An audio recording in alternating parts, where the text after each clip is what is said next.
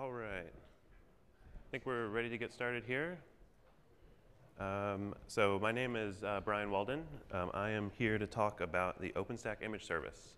Um, I, I've been the PTL over the past release, um, so hopefully I know enough to actually do this correctly. Um, so I get asked this question quite a bit. Uh, what is Glance, or specifically, why does Glance exist? Um, which is not a really great question to get asked. um, but hopefully I have a pretty good answer for you here.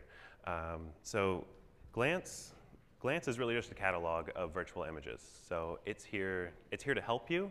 It's not here to own your data or own your images. Uh, it's here to provide a, a, cataloging service to help you find what you need more easily uh, and to help interface with all of the OpenStack services uh, behind the scenes. Um, so over Folsom, um, we accomplished quite a bit. Um, we've been talking about this uh, V2 OpenStack Images API um, for a year and a half now.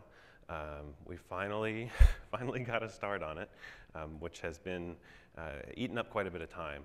Uh, so we, had been planning for about two different, uh, two releases, um, what it should be, what it should do. This was one of the first real uh, APIs that the community worked together to design, and there was a lot of talk on the list back and forth. We had four or five drafts that were sent out, so we finally decided to uh, get down to it and implement something and hope that it worked out. So we spent quite a bit of time this past release uh, on, on specifically on implementing this new API. Um, so going back to my hopefully acceptable answer to what is Glance, um, Glance doesn't own your image data.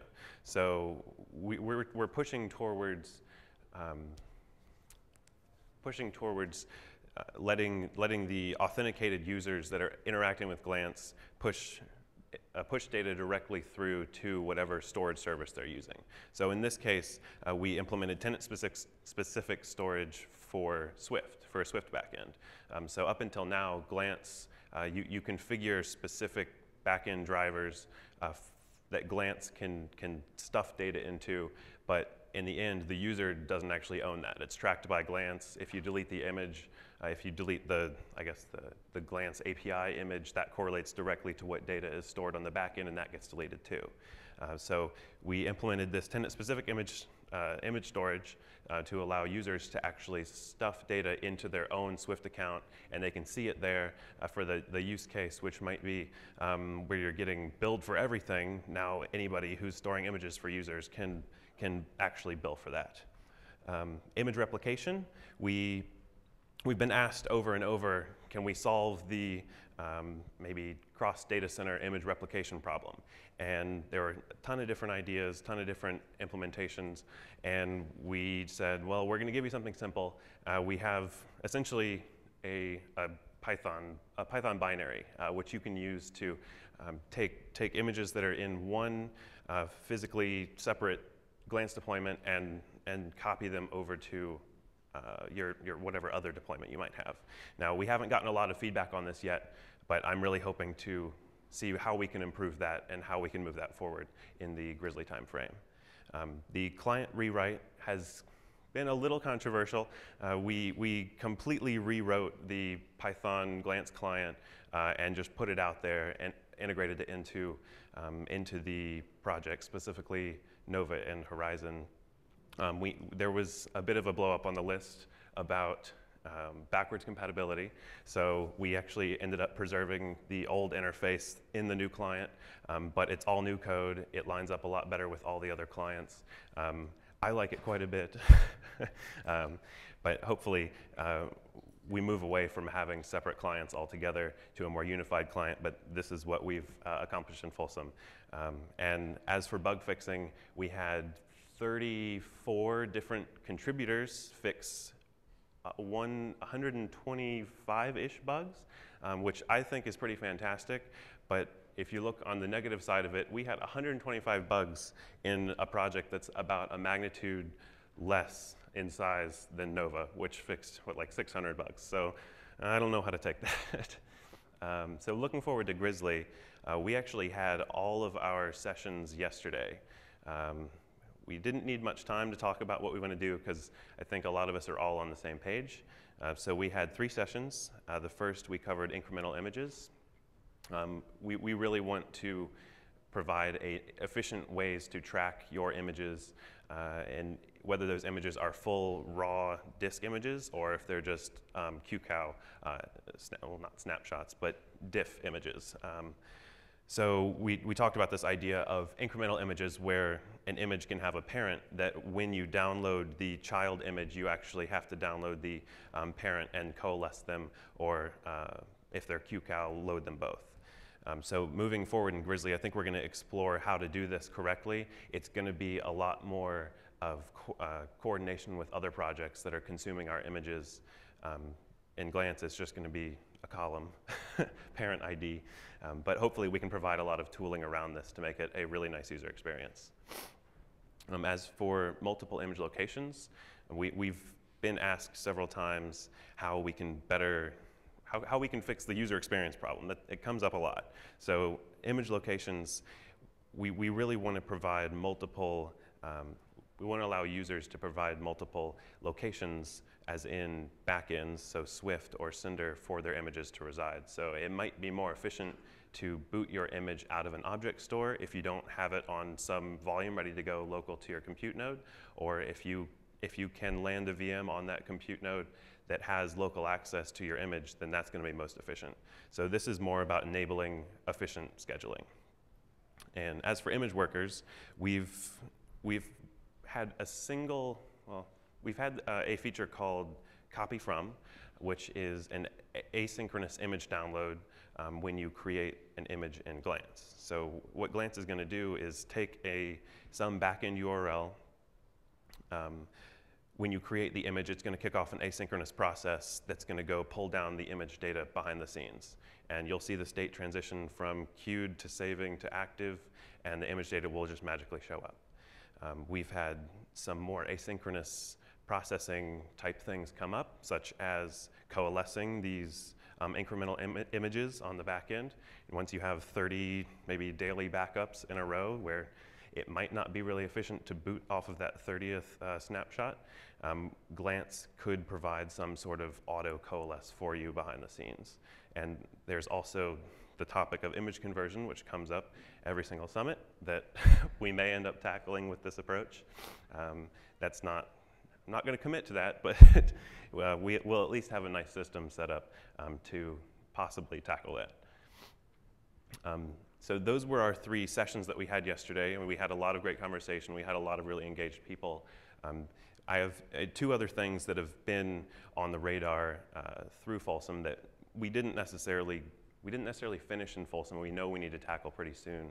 Um, one is implement, implementing, designing first, hopefully it doesn't take another year, um, and implementing the next minor version release of the images API.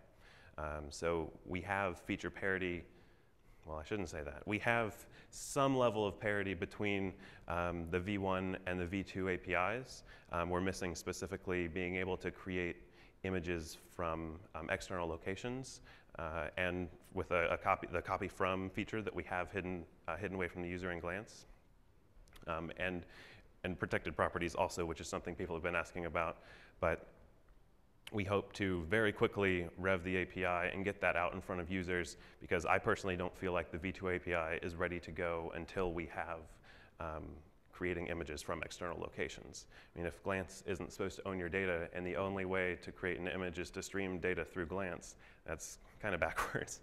Um, so protected properties specifically, um, Nova, the way it uses Glance, uh, it ends up adding several several properties that Glance doesn't specifically know about. They're metadata, so they're owned by the user. But if a user owns the image, then they can change the properties.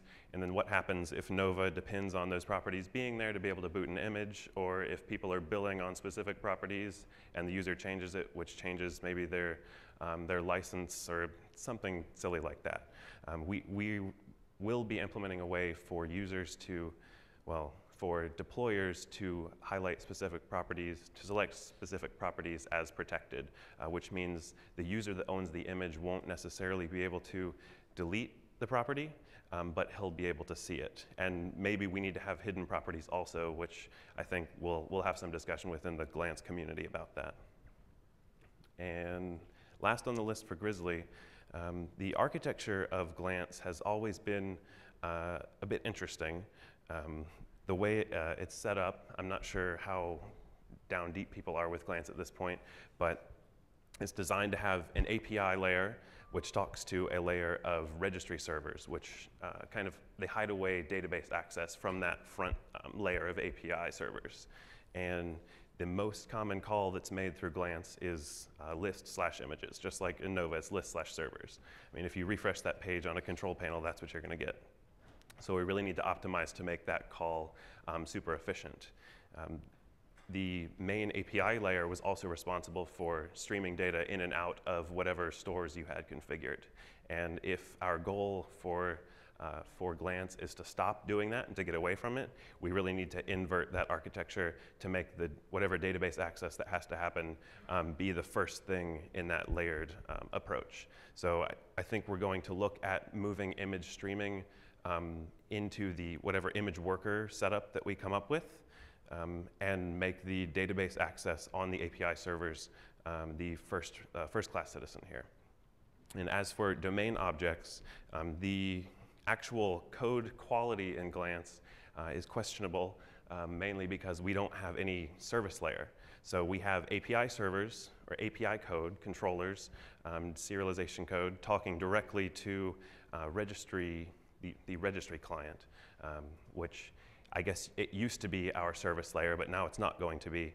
Um, but we had API code talking to clients, talking to API code, talking directly to databases, and there was no way internally to um, actually do anything the correct way, uh, which, which makes, makes for quite a few bugs. And maybe that's how we got to that uh, hundred and something bugs fixed this past, uh, past release. Um, but we, we've had a lot of, a lot of uh, new ideas come up to how we can completely overhaul the internals of Glance uh, while preserving the API interfaces, the APIs, um, but getting it to a, a much better place for developers. So, I know I went through that pretty fast. It's not Glance Light, it's, it's just fixing a lot of Glance. Um, so, um, I had a magnitude uh, less of stuff to cover than Vishy did, so I can't fill up 40 minutes. Um, so I'm going to leave the next 35 minutes to questions. or we can go to lunch. Yes, right back there. Oh, I'm sorry. Come on up. uh, sure. Uh, do we go up here? I, I, guess so. I mean, he can hear me. Um, so you mentioned that you changed the API uh, a little bit to rewrite the client. The REST API from V1, on, how much did it change to? So the V1 API hasn't changed at all. We okay. haven't touched that. No, but the in, in terms of updating V2 API, how much has that changed from the V1 interface? Okay, REST right. Call? So um, to give you a, a, bit of an overview of what the V2 API um, is, we, we really wanted to explore some new ideas that we've been playing around with, um, move away from having alternate serialization formats for the same data depending on um, what methods you were using on different resources. Um, so we ended up communicating through um, HTTP response bodies all of the specific image data that you're asking for. Well, image, image metadata, um, not the binary um, image data. Um, and we're also using JSON schema, uh, which is, it, it's in draft four right now, I think. Um, but it has not been changing very much, and it looks like it's going to be accepted. Um, and I think the RFC is going to be accepted very soon. Um, we're also using uh, HTTP patch, uh, which is something I haven't seen anyone else implement yet, and support for it um, in Python libraries isn't uh, quite there, but we're actually spending a lot of time getting that up and ready to go. Um, so using HTTP patch the specific method helps make it a lot clearer about what changes you're making to JSON entities, uh, which is exactly what we're, we're kind of tracking here. Um, Glance doesn't own your image data, it's a metadata record. Uh, so that's, that's really what you're interacting with. Uh, and if you're using JSON, it's really natural to use JSON schema to tell you what that entity really means and use patch to, to know how you're actually changing it. So does that answer your question? Yes. Great. Um, another question after this. Is it a follow-up? it's a different question. It's a, you mentioned something about adding, um, you know, this uh, location. you said you're making changes to support Swift, et cetera. Uh, You're not changing HTTP location or file location, if I wanted to. Um, correct. So I, I think as a community, OpenStack is moving towards um, a more efficient uh, image boot story. So I think moving things onto volumes uh, out of object storage, out of other arbitrary backends, letting the actual storage services own that, um, such as Cinder, um, because it knows how to talk to a bunch of volume backends. We don't need to teach Glance how to do that. Um, so we're absolutely not getting rid of any backend support. It's going to be there for compatibility, but it may not be um, the most common use case at that point. One more question about the API. Um, uh, Glance V1.0 supports obviously file upload. Um, Yep. So streaming, octet stream and, and so forth, and it's sort of hard-coded in the, on the server. Yeah. Um, uh, you can't really use that for my, do uh, hidden frame, etc. but the problem is on the back end, you don't have the multi-frame support, data support. Have you m- made changes to support a? To support File, file up, upload? through uh, web browsers? Yeah. Um, no, we have not. That has never been brought up. No. Okay, well, it's a, it's, um, so my team is working on, a- on making that change, we've done Okay. the change, and I just wanna make sure that, I'm not sure if anybody else is doing file upload. Uh, I know Horizon doesn't really care about it, because all the images are on the back end. sure. So, um, how do I get that from, uh, pushed back into, uh, Okay. Um, I, I think. Were you in the, the previous talk? no? Okay. So um, I, we, we would just go through the normal code review process, um, get it up for review with the community, and I can help. Um, obviously. Okay, I'll, I'll yes. We can we can catch up after this. Thanks. No, I, I, I, I am a contributor, so I know how to do it, but I Okay. want to, just to get that design into Stack. Yeah, absolutely. Yeah, I would love to see it. sure- Um, I, we absolutely need to care about uh, API compatibility. Specifically in V1, we really have not talked about making changes to that. Okay. Um, but if this is something that's just a little tweak or is a real bug It's- fix, It's a, um, right, it's a, it's a, it's a tweak, it's really modularized, and make sure that we Okay. support Octet Stream as well as other forms. Okay. And that's really important for IA, IE users. I Okay, don't yeah. really care about IE, but IE users do. okay, yeah, I, I would love to see that. Yeah, Okay. Thank you. Sure. Questions? Yes, sir. Yeah, I was wondering about the future of the separate Glance API and the Glance registry server and, and with the, I know the version two API, API talks directly to MySQL. Can you just explain a little bit more about that? Yeah, so, yeah, so right now, the, um, the, so I, I guess you, you know how the, yeah, how the services are set up. You, um, like the Glance API service and the Glance registry service. Um, so the Glance API service um, accepts incoming requests. That's supposed to be the public-facing um, service that's handling um, user interaction. Uh, it will either go talk to your backend store, so talk to Swift, talk to local file, um, and it'll also proxy uh, over HTTP back to the registry service. Um, so once, once the domain object layer is more uh, concrete, I think the, the code paths between the V1 and V2 APIs um, will line up much better.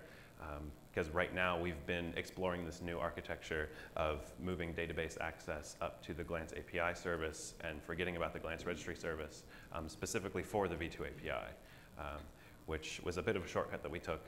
Um, I'm not sure how well that's working out right now, uh, but the end goal here is to offload that streaming work to completely separate services, completely separate processes, and not have that um, be done um, by the main HTTP, uh, HTTP service that's accepting incoming requests, um, and to completely get rid of the Glance registry service, um, just because it's, I don't know why we're making that extra hop.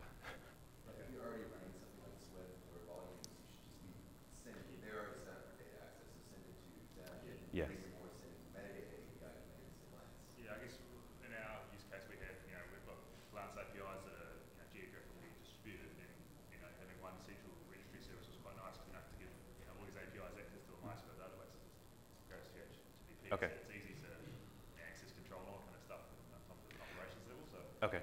Um, I think we should continue looking at that too, moving forward, because really, uh, right now, what you can do is, um, fir- first off, you can keep with the existing behavior one hundred percent by just not configuring V two on, and Yeah, I that's don't what we think do. it ever makes any Yeah. change to the, the MySQL. part. Yeah. Um, but what, what you would do in, in this case, I think, is just, we could probably look at, um, distributing out some of the, if if you didn't want to talk directly to Swift or to, um, to or something like that, some other service through the location entry, you could still talk to Glance, but we would just want to have maybe some option of deploying different glances that only offer the file part and don't maybe do the database access, which I think is potentially possible. Yeah, I think there's other ways with the replication as well, like there's, there's probably other solutions to that problem as well. Yeah, yeah, I, I think, I think we need- need to be a bit more um, transparent or opaque, one of the two, about what we're um, planning on doing here. uh, And more visible. Yeah, I was the one who brought it up. um, and uh, get our more specific plans out there because uh, we, we've been kind of playing around with it um, in code at this point, and we need to be a lot more um, upfront about what we're doing. Um, so yes, I would love to continue this conversation, um, and probably with the greater community if uh, if we're missing something here. Yes, sir. So, I, I know that the Ceilometer project is working on monitoring and monitoring a lot of the usage in Nova. Yep. Has anybody talked about, um, exposing statistical usage of like, Mhm. this, these images are used this often, or, you know, uh, all that sort of. Um, interesting information? Okay, we, we haven't, no. So short answer, no. Uh, we have a notification system set up in, uh, in Glance right now, which is um, rather incomplete. It, it's not, I don't think it's sending enough information. It's sending the bare bones, um, like image was created of this size, um, but not necessarily more of the statistical information that you're looking for. Well, and is it your job, is it Glance's job, or is it Nova's job? Because you could Nova theoretically, can make Yeah. one call and get, use it two times. That's a good point. Um, we, so we do have the use case where people are using Glance to track images Right. just completely separate from all of the rest of OpenStack, which I was really uh, delighted to hear that. Right, I made some Um, changes to notification as well because it wasn't rich enough. I, I Yeah. haven't pushed them into, but that was on Essex, and that's another thing that I wanna push into the. uh, Yeah, so we, um, we have a blueprint filed uh, for, uh, for Grizzly to actually completely overhaul the notification setup. So, and obviously keeping backwards compatibility, putting them in the same place, putting the same ones out there. Um, but we need to, we need to be pushing out a lot more information and, and figuring out how we can consume those and actually make the But you whole- don't wanna put a lot of pressure on the, on the bus e- either, so that's. Oh, absolutely, that's yeah. So It's a balance. Yes, sir. It's an act. Okay, any more questions? What's Oh, the uh, deprecation path for the V1 API? So I, I would love to keep the V1 API forever. Um, I, there are people using it uh, on its own. I'm missing words up here today. Um, I, I absolutely don't want to get rid of APIs if we can support them. Once it becomes infeasible to support APIs, that's when we can talk about it. But we need to go um, as far as we can to hold on to those for as long as possible. I mean, Is one of, one of the kind of the side effects of maintaining that support, will kind of cut down on the amount of code duplication. Yes, um, absolutely. Yes, like I said, the V1 and V2 paths are kind of right next to each other, but going to the same data source. Um, and we will be lining those back up using uh, the domain uh, object of, uh, refactoring that we're looking at. I, yeah, I mean, I think at the same time, we need to be careful because part of the idea of keeping the whole API around is that it's stable, right? And so Yes. if you deduplicate code, you're technically actually changing that code, right? So we, we'd like to reduce, uh, the introducing bugs to it as well. Yeah, so We'll just, I think we just have to so since, since Glance has only been an API up until now, it doesn't do anything else. Well, I guess it's been moving data in and out, but it does very little. Um, the API code has talked directly to the data store code and directly to the backend um, storage code. Uh, so there is no real service layer to build a new API on. You have to copy all that and put it over here, and then you fix a bug in the V1 code path, and then the V2 code path needs to get fixed, but maybe that's changed in a different budget. So we, we will have to get them lined up at some point um, in Grizzly, but this, the API code and the API spec, um, that's like the code that's specific to implementing that spec, I don't think should change. Because as Mark said, you, you're in danger of introducing Yeah, I introducing totally new bugs agree. You at don't wanna keep changing the spec and. Oh, no, so- we're, yeah. yeah, Definitely. I have never changed another spec. Good. Uh, yes, Uh, just curious if there's any talk about taking out the paste stuff from the config, moving it away, so it's, because it's kind of confusing for some Yeah. people. the- Putting out like, oh, here's one version, here's this, and the line is the same, but it's just, someone's renamed something and Okay. it becomes a hard way of. Yeah, are, are you, um, are you working off of Essex or? Essex. Okay, so uh, in Folsom, well, I guess I don't remember exactly. In, in Essex, is the paste config in the main service config or is it in a separate file? I was moved to the Essex. Pre-Essex, okay. Um, so at this point, we have the paste config in a separate file, uh, and we have uh, selecting a paste flavor, we're calling it, um, from the config, which if you're making custom changes to that paste config, then you're still kind of screwed.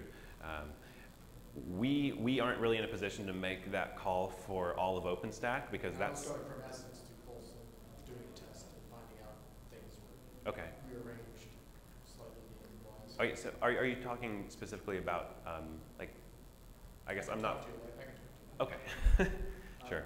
That actually, uh, made me think of, uh, are you working with the OpenStack, how much are you working with the OpenStack project to try to, uh, common, commonize various things from APIs or? Okay. tools and whatnot?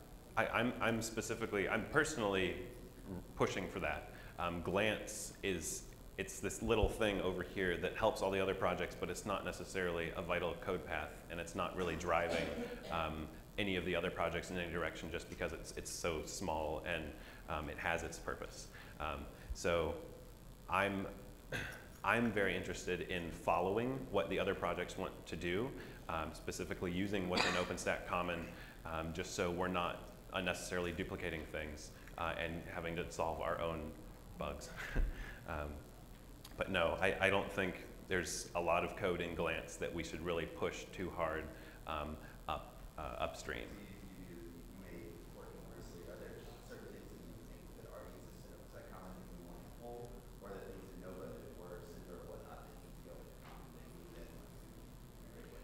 Sure. You, you talked a little bit about the unified storage stuff, so. Right, okay. So um, during Grizzly, we're going to be focusing on boot from volumes quite a bit. Um, if you've got an image stored on a volume, which is tracked by Glance, uh, which, which might be, which Glance might be storing in a Cinder backend, uh, which doesn't exist yet, but it might one day. Um, we don't need to be duplicating that backend storage code. So right now, when we talk to Swift, uh, we have to write our own Swift client um, interaction code. I mean, it's, it's not a lot of code, but if we're duplicating it in multiple places, um, such as in Nova or in Cinder, then that's going to be an issue. So uh, in, I guess, in preparation for getting the efficient, um, efficient booting, not even boot from volume story um, ready to go, uh, we need to be allowing Nova to pull images directly out of whatever backend store um, Glance is using. So if Glance is putting an image up in Swift, we don't need to be streaming that image back through Glance into Nova. And Nova should just be able to go directly to Swift. Um, so I think we're going to be working with um, po possibly Nova, well, definitely Nova, possibly Cinder, um, to align that, that backend storage interface, uh, which we might, backend storage interface for all of the backends that we have. So coming up with a common set of methods that we use um, for these shared uh, interfaces to talk to something like uh, RBD or to talk to, to Swift or to S3 or to just some arbitrary HTTP store. And that would just be to, to put data in and pull data back out um, using all the same code. So that might, that code might end up in OpenStack Common or it might end up in OpenStack Common backend stores. We might create a new project. That, that has not really been discussed to that degree yet.